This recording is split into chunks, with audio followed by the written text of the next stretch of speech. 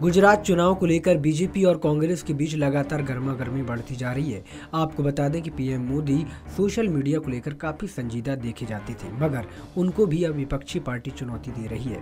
बता दें, अचानक सोशल मीडिया ट्रेंड में जो बदलाव आया है, उसके पीछे कांग्रेस की धारदार रणनीति जिम्मेदार बताई जा रही है। गुजरात में विकास पगला गया है। ऐसे नारे अब सोशल मीडिया पर धूम मचा रहे हैं। लेकिन कांग्रेस की सोशल मीडिया पर मजबूती के पीछे एक महिला का हाथ है। ये महिला साउथ की मशहूर अभिनेत्री राम्या और दिव्या स्पंदना है।